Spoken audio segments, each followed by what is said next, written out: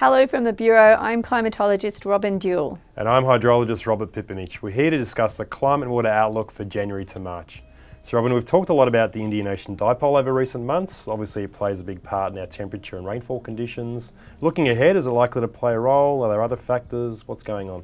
Well, definitely the warm and dry conditions we've experienced so far this year have been largely driven by a very strong positive Indian Ocean dipole mm -hmm. in the Indian Ocean, but also a negative southern annular mode to our south. But the good news is, is that these drivers are now starting to weaken. But the not so good news is that the effects of these drivers is likely to linger a bit longer this year.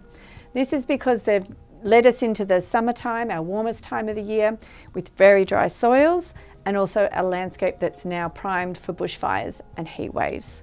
Okay. If we step forward and we look at the first quarter of 2020, we can see that days remain likely to be warmer than average. Yep. And night times also are likely to be warmer than average. So again, a continuation of that elevated risk of bushfires and heat waves. Okay, so warmer days and nights. What about rainfall? In terms of rainfall, we actually have quite a neutral outlook. Mm -hmm. So most of the map is very white. Yep. So this means for most of Australia, there's no strong indication either way towards it being particularly wet or particularly dry. So that dry signal that we had been seeing over the past several months, it's now gone, mm -hmm. and that's because of the weakening of those climate drivers. Right, those drivers typically break down in summer. They right. typically yeah. break down in summer. Okay. So Rob, even though the outlook is neutral, it's been so warm and dry. Yeah. What's that going to mean for stream flow? Yeah, look, a rainfall outlook does have some impact in a streamflow outlook, but also the current state of the landscape has a, plays a big role as well. So if we look at the soil moisture map here, that represents roughly the top one metre of soil around Australia. And these darker areas indicate uh, very much below average moisture conditions. And that means, you know, bad conditions for vegetation growth in agricultural areas, also dry landscapes in bushfire prone areas.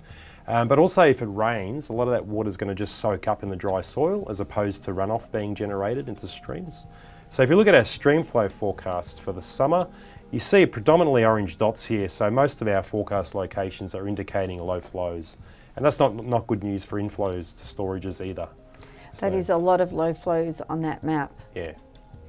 So with bushfires and heat waves more likely this summer, stay up to date with our forecasts and warnings on our website and always follow advice from your local emergency services and health agencies. Thanks Robyn. So if you're taking a break, enjoy your holidays, stay safe, and join us again next year for our climate and water conversation.